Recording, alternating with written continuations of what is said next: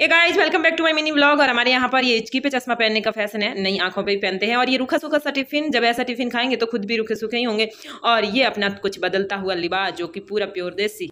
क्या हुआ किस चिंता में डूबे हुए हो? सोनी दिन नखरे सोनी लगे अरे भाई ऐसे ही नखरे चलते रहे तो कैसे घर शिफ्ट करेंगे? मेहमान भी आने वाले और ये देसी ककड़ी आ चुकी है। आप लोगों को खानी है तो खा सकते हैं लेकिन जब इन बच्चों के हाथे पड़ चुकी है तो ये इतना ठूसेंगे इतना ठूसेंगे कि बचने वाली है नहीं। कुछ भी खा लो हमारे शरीर में तो लगने वाला है नहीं और काम इतने सारे बड़े हैं फिर भी माँ बेटी नखरे करिए नखरे के बाद और भी नखरे आ गए। मेहंदी कैसी लगाई बताना ज़रूर मुझे पता है बहुत बुरी लगी है लेकिन फिर भी लाइक कर दीजिएगा। हमारी गुड़िया रानी नाराज़ हो गई बहुत ही ज़्यादा गुस्सा हो गई रोना भी आ गया भाई इसको कभी कभी फ्री में ही रोना जाता है। आज इसके बहुत ज़्यादा खास मेहमान आए हैं उसके दादा और दादी आए हैं। अरे मामा मेरे को तो खुशी की मारी शर्म आ रही है। तो दादाजी तो आपने देख ली लिया है ये दिव्या तेजू के दादी इसके बाद ये लाए बच्चों के लिए कुछ फ्रूट और फिर चाय पानी करने के बाद घूमी घूमी करने के लिए निकल चुके हैं सारे के सारे दादा दादी पोता पोती बहू और गिनाए साथ तो प्यारे प्यारे दोस्तों ये पूरा ब्लॉग आपको घमू राजस्थानी चैनल पर मिल जाएगा और इसके बाद देसी खाना मिल गया जिसमें मोट फड़ी और काचर की सब्ज़ी बनी है और साथ में देसी घी का चूरमा। Thank you for watching